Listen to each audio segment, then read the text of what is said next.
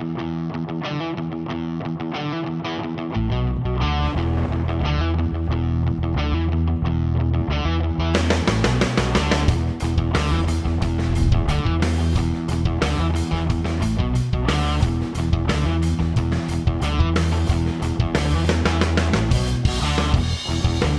We Can Be Heroes campaign is a program that was started by Warner Brothers and DC Entertainment to address the hunger crisis in the Horn of Africa.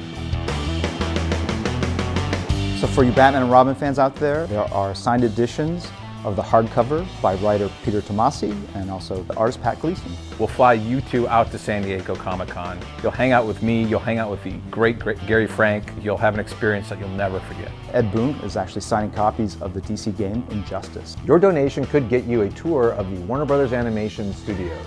I actually drew some artwork that will be featured on a t-shirt.